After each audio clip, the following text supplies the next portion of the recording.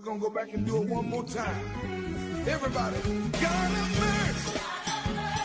Ladies and gentlemen, get ready for an unforgettable evening of soul stirring music and worship. The National Baptist Convention of America, in collaboration with the Hattie Wade Academy of Church Music and Worship Arts, proudly presents John P. Kee live in concert. Join us on Thursday, June 29 at 7 p.m. at St. Stephen Baptist Church, located at 1018 South 15th Street in Louisville, for an unbelievable evening with renowned gospel artist John P. Kee. This extraordinary event will also be an opportunity for the Hattie Wade Academy of Church Music and Worship Arts to pay tribute to an exceptional individual. We will honor Jeffrey Lavalley for his years of dedicated service in music ministry. Make plans now for this free event. Join us this Thursday at 7 p.m. to experience the soul stirring performance of John P. Kee live in concert.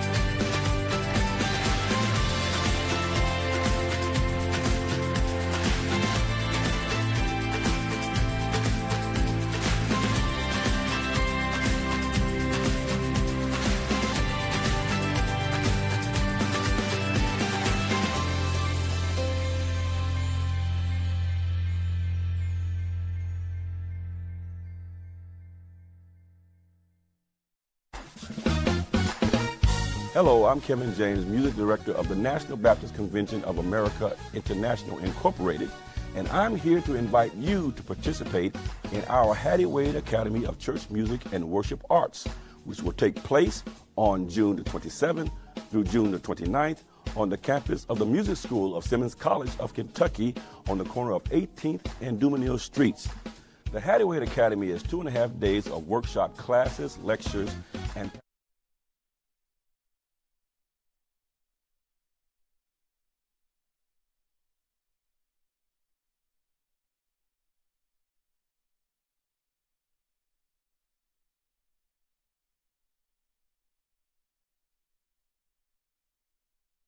come pour into us for these two and a half days.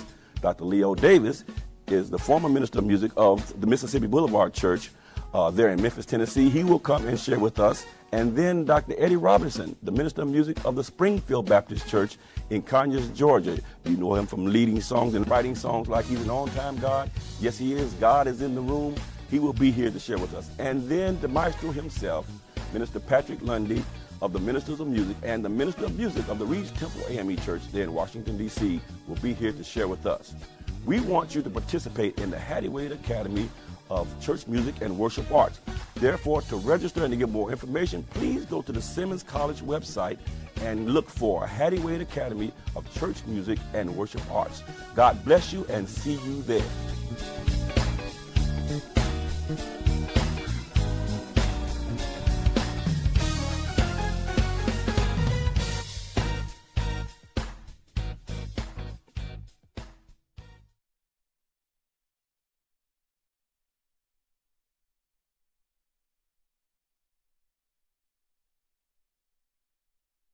We're to go back and do it one more time. Everybody, God have mercy. Ladies and gentlemen, get ready for an unforgettable.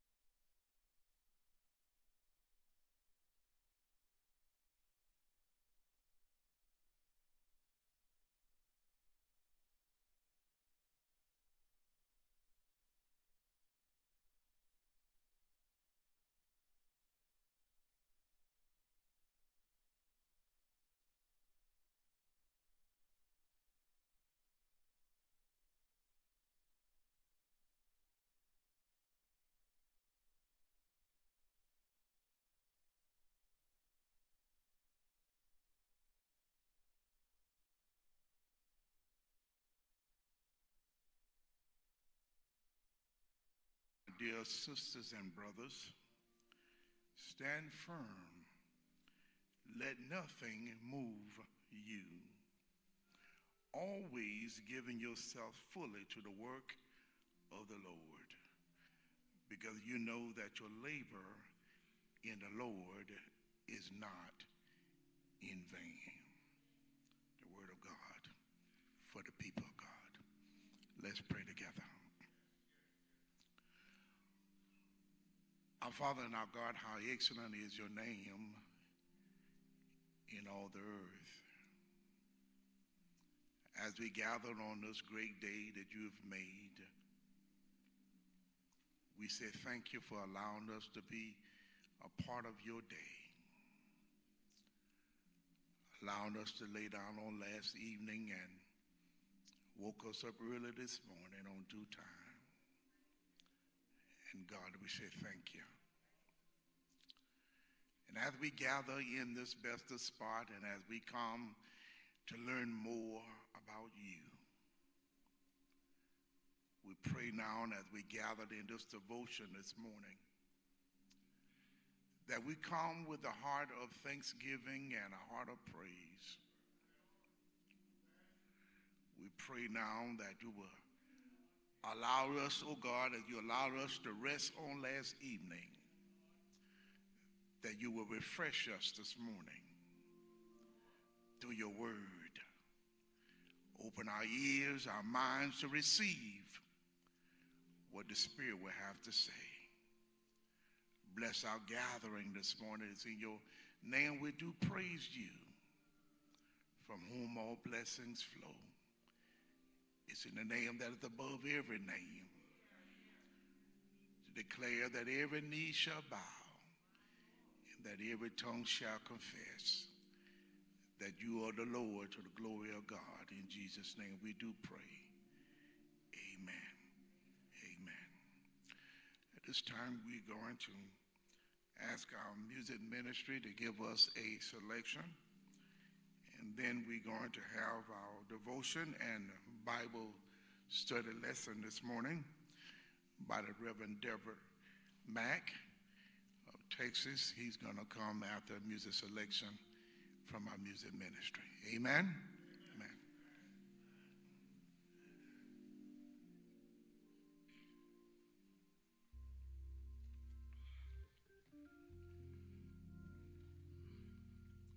We ask you to blend your voices together in this bedrock hymn of the church.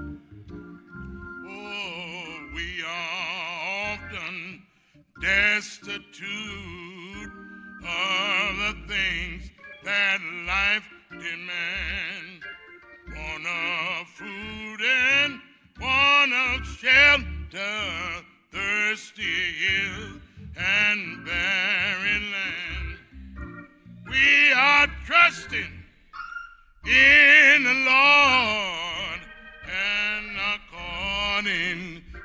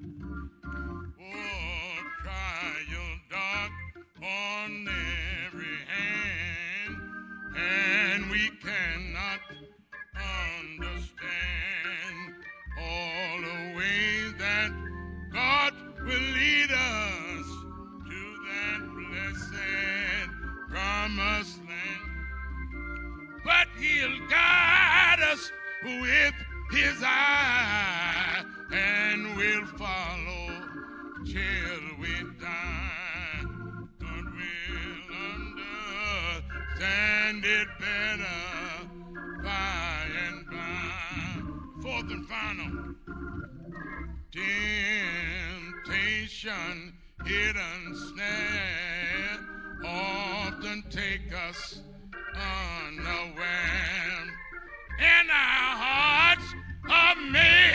bleed for some thoughtless word or deed.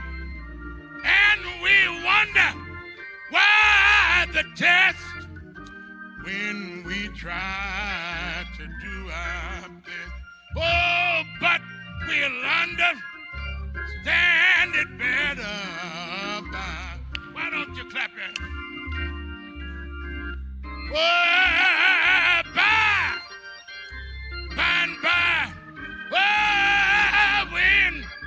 the morn. Oh, the saints of God gathering home. Oh, we'll tell, tell a story. Oh, how we overcome, and we'll understand it. Ain't you glad?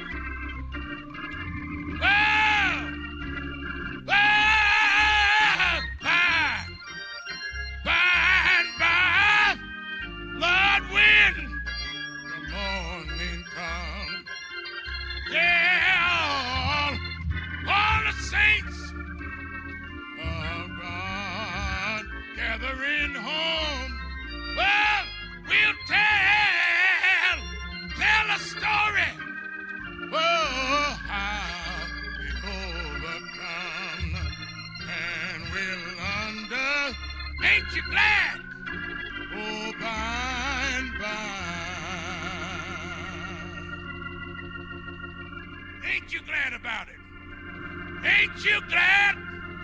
He woke you up this morning, started you on your way.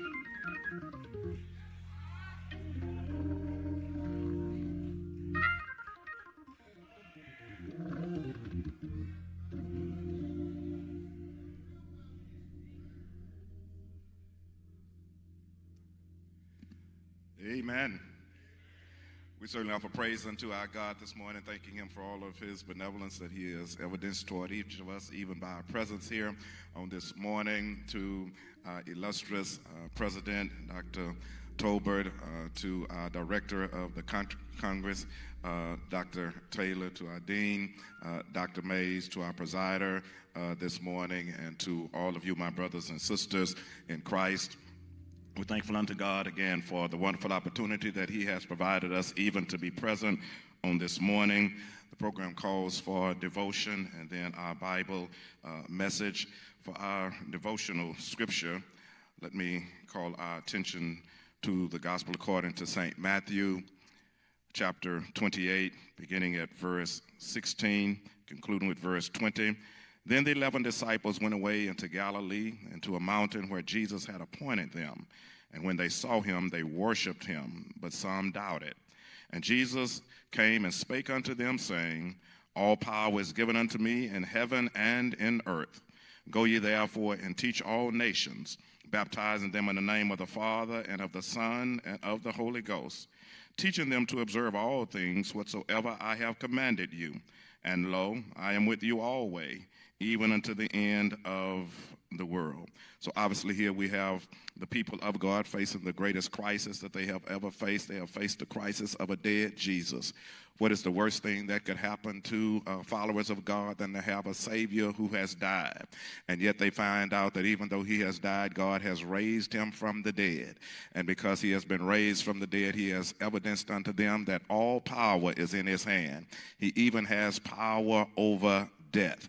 So therefore, they end up worshiping him. They had been scattered, and now he has gathered them together.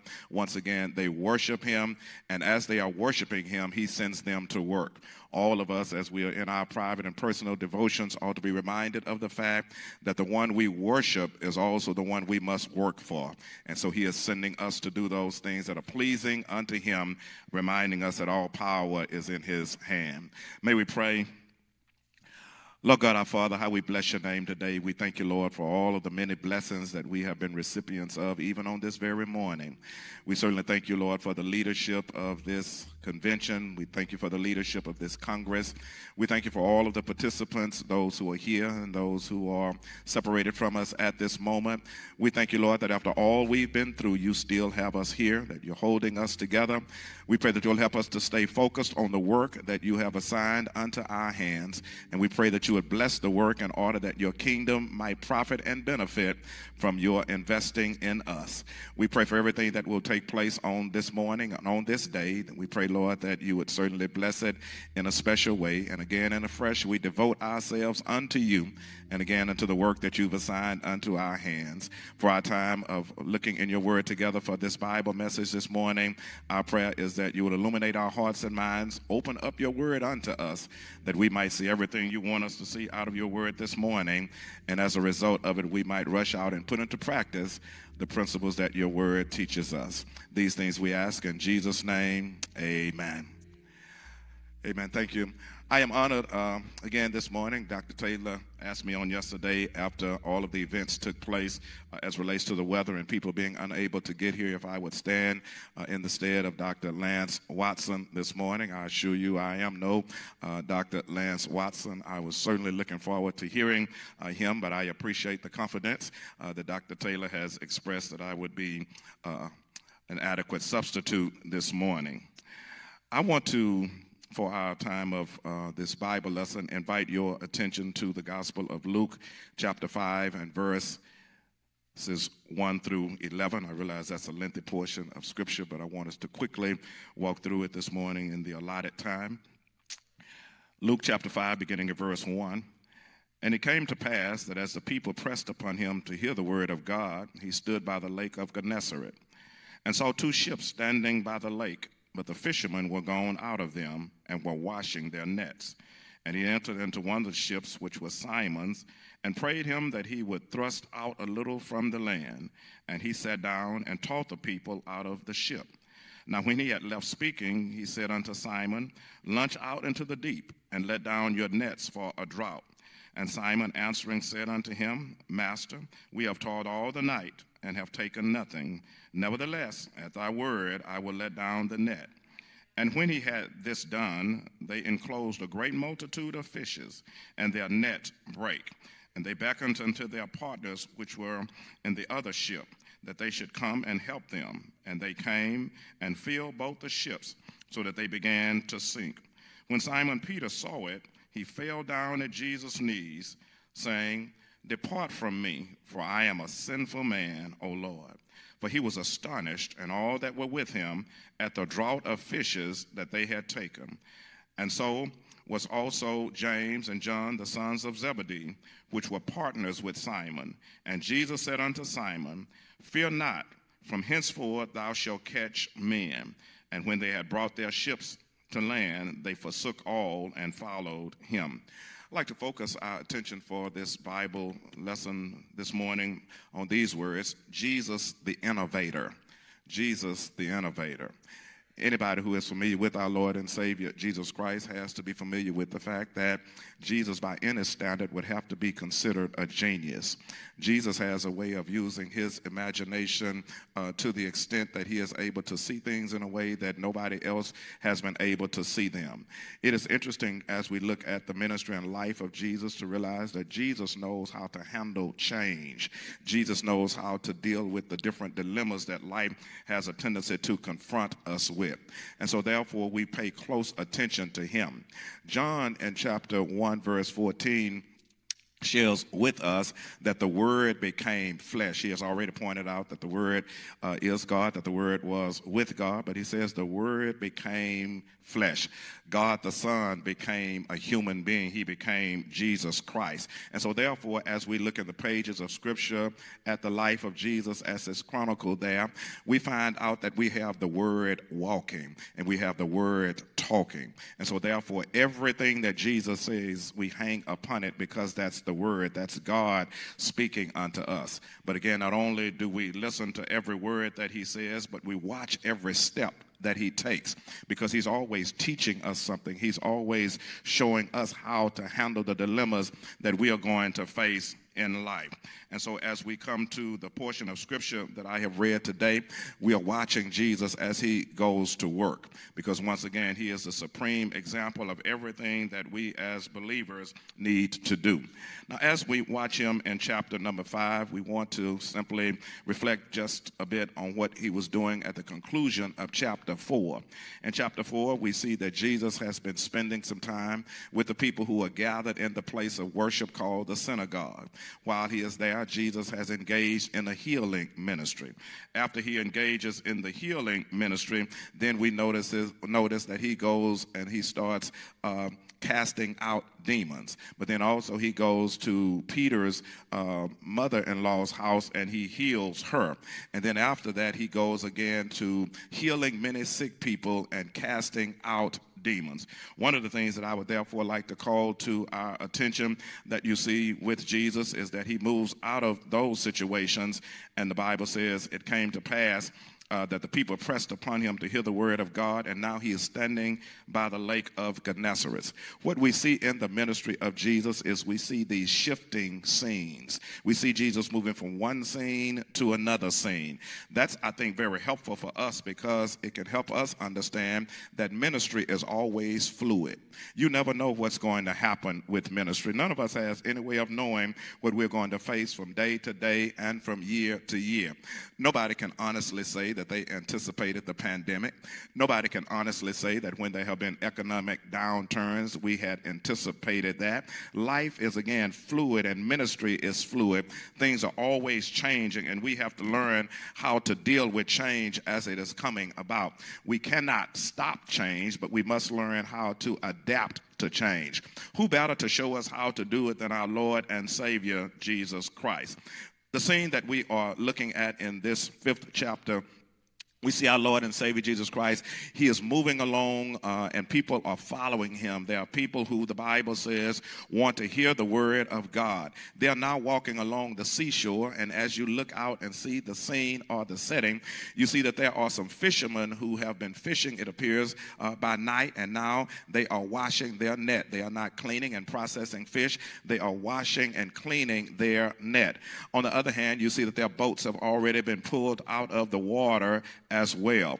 It is the kind of scene, as you look at it, that you would, consume, you would conclude at this particular point that there is nothing meaningful that can take place here.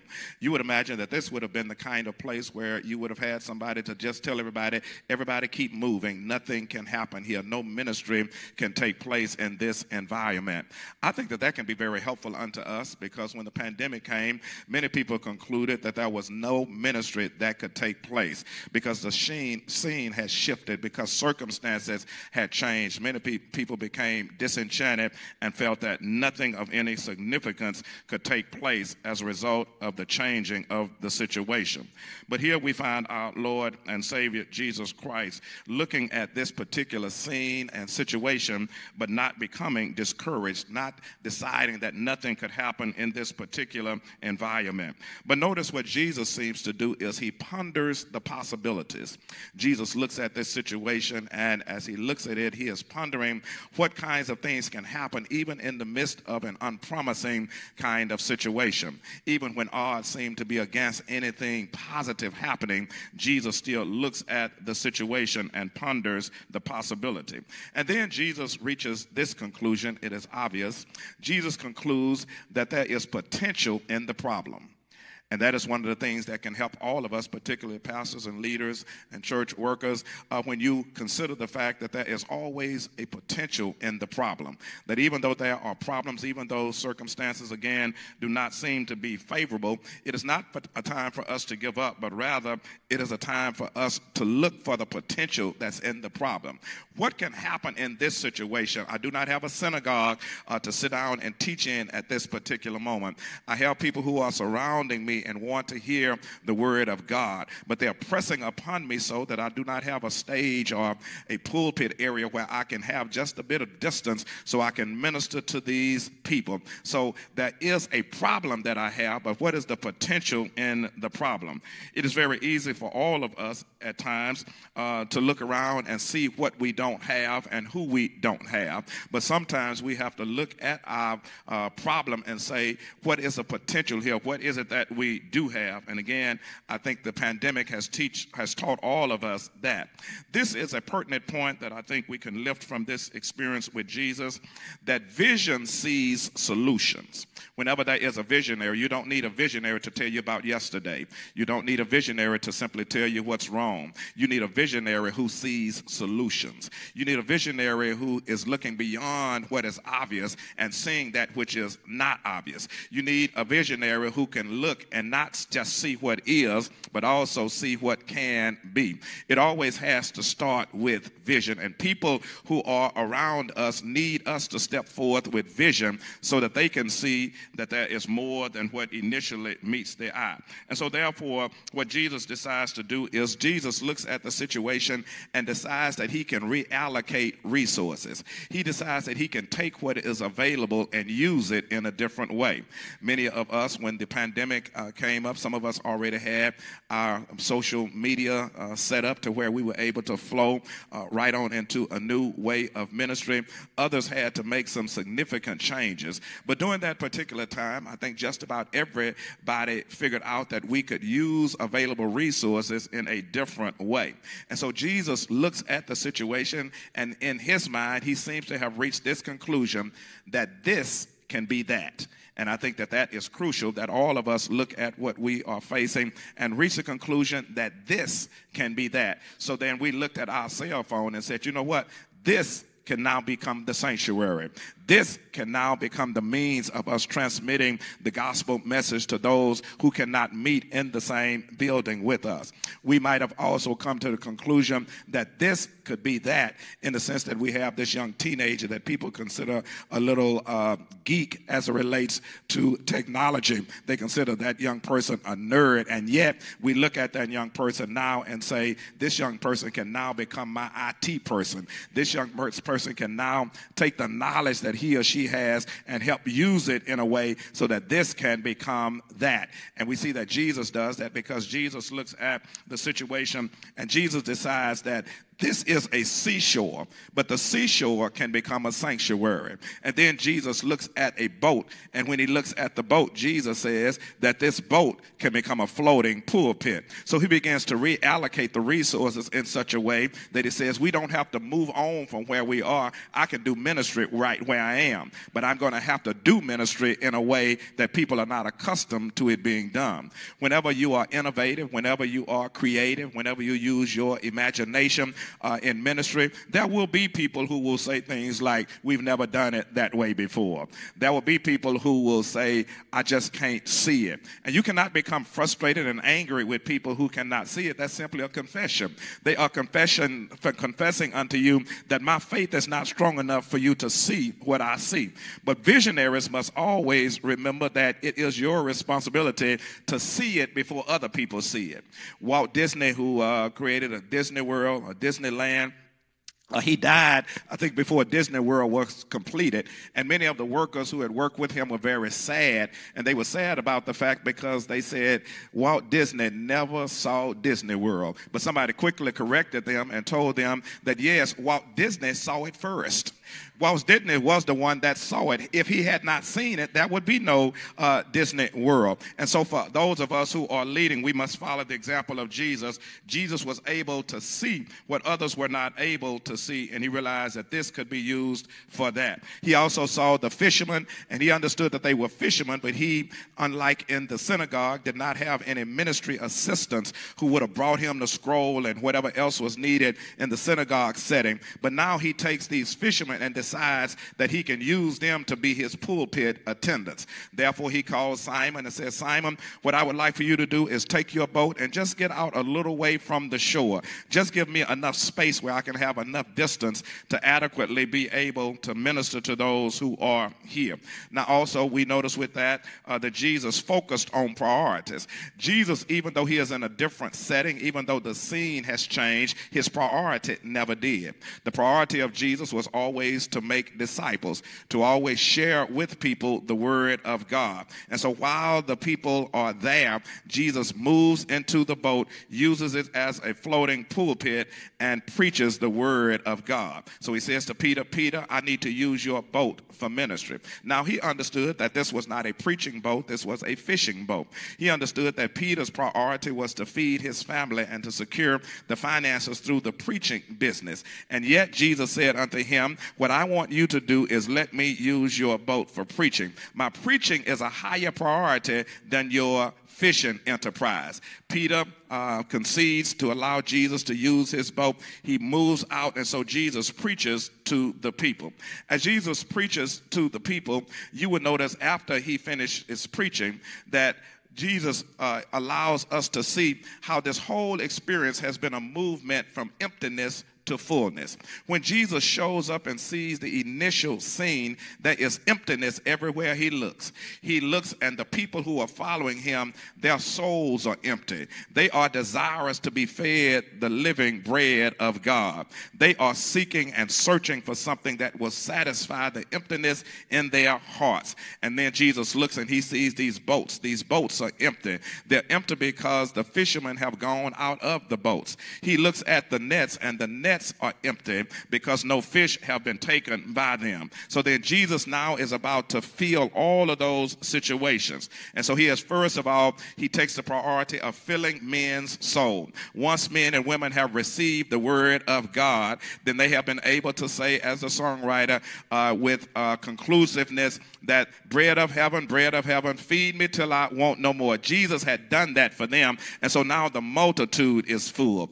After Jesus finishes taking care of the kingdom business, then he turns to Peter's business. He has always planned on taking care of all the business that needed to be addressed, but he starts with the kingdom of God. Let's take care, he says, of the kingdom business first, and then we'll move to your business. No matter how the scene shifts, our business must never change. No matter what else is going on around us, our focus has to stay on uh, the priority of sharing the word of God and making disciples disciples. So then Jesus tells Peter, Now, Peter, now that you've allowed me to use your boat uh, to minister. Now launch out into the deep because I'm going to allow you to catch some fish.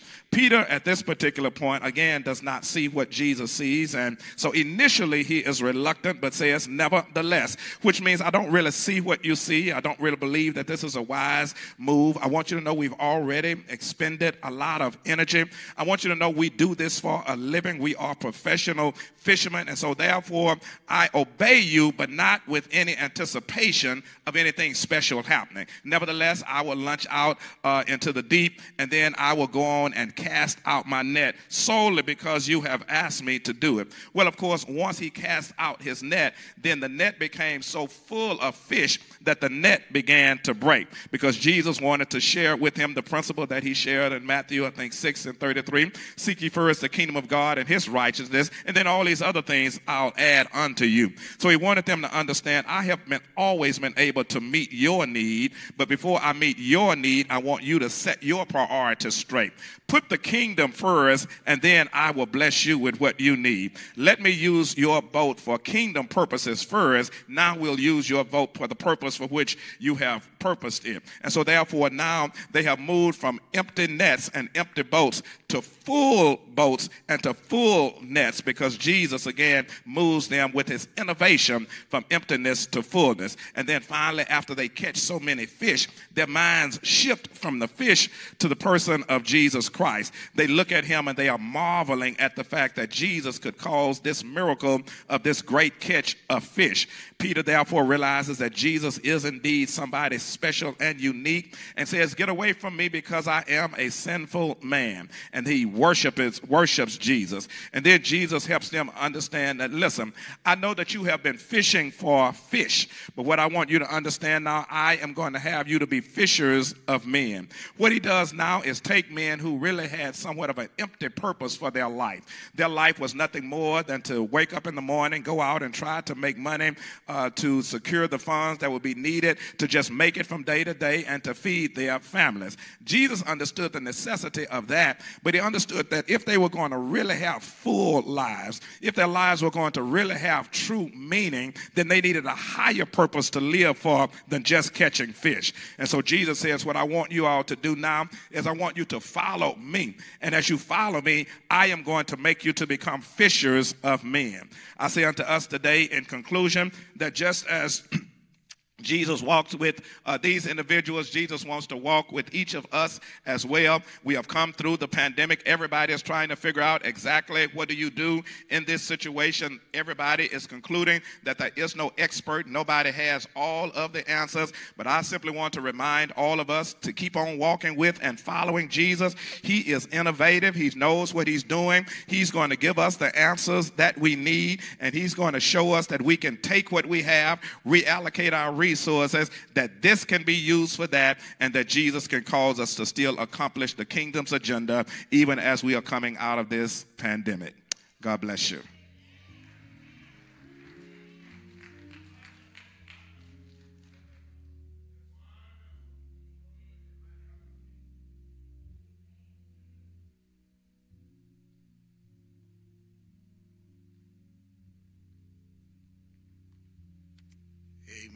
Amen. We have been really blessed from that devotion this morning. At this time, we're going to have our dean. He's coming. He's going to give us direction for our morning session.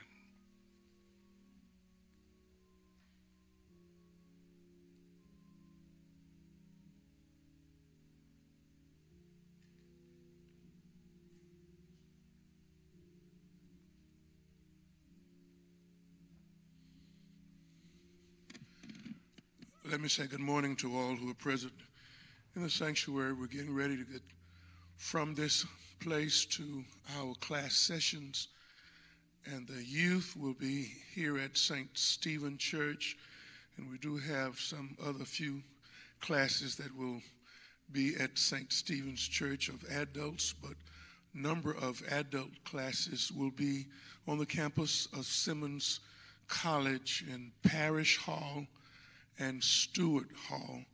We had a flyer, we had a piece of paper that we want uh, you to take advantage of, that it has the class spaces and class assignments many of the St. Stephen's Church members, as wonderful hosting that they're doing, are in position to answer your questions about directions as to where you're going to be set up for your classes.